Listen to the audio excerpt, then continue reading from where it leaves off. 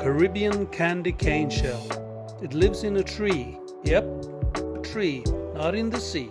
It's one of the most colorful shells in the world.